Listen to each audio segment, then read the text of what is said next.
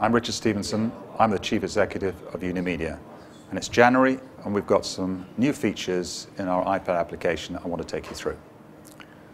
Let's open up this particular application, which is Hair Ideas. Let's look at the latest edition.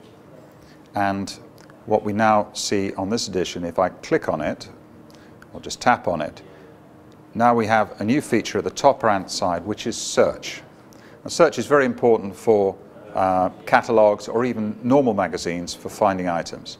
What we've done here, if we look at it, the search opens up, and if I start to type the word Emma, we now have it working in a predictive way of finding the nearest match as I continue to type. So um, I've got a number of options here, but just in case I'm not sure whether that's the right one, I can click on that and it brings up the background page without losing this information. I can clearly see that's not the right page I wish to go to, so I can click on that one. That is the right page, I click on that. But if I want to go back, having read that page and find another one of the search items, it's remembered where I've gone beforehand. So I can click on that, and maybe that is the right page.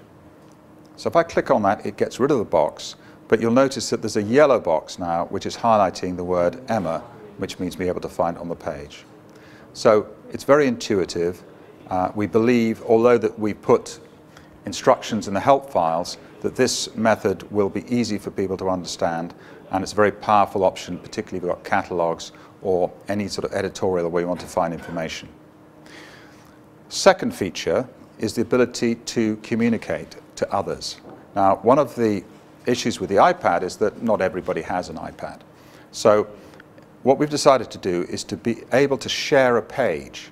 So if I'm looking at this particular page, if I click on this icon at the bottom of the toolbar, what this has now done is taken the page I'm looking at, dropped it into the email, given me the link to this particular edition, and dropped in the text that a publisher wishes to say, give you as a standard text. The user can change this but then they can actually click on that to add in their email address to who they're sending it to um, and send it. Now, the advantage of that is, is that you can then, with email, communicate to anybody anything you see on the page. Um, online shopping, something like 60, 70% of decisions online are made on the basis of a referral or an agreement with a family friend. So the ability for someone to find something here and send it to their mother or their, their daughter and say, should I buy this, is very powerful. It will enable people to shop more confidently. Second thing is editorials. There will be articles people will be reading which will be of interest to their friends, and it's very easy for them to send this by email. So we believe that the sharing of a page is a powerful feature which we've now built into the system.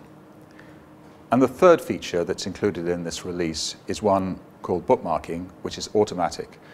Now, this is a response to some of the feedback we had to say that uh, it would be nice if every time I left the edition, I always went back to where I left off.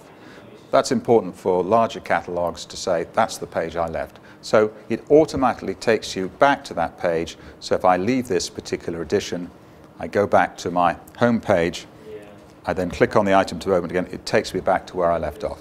So those are three features which we're launching in January.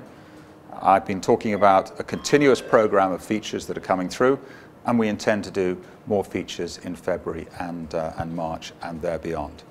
Um, you're sitting here in one of YUDU's offices with a team behind. Everybody's very excited about what 2011 is going to bring, so I'm sure you'll see that these features will enhance the experience for the user.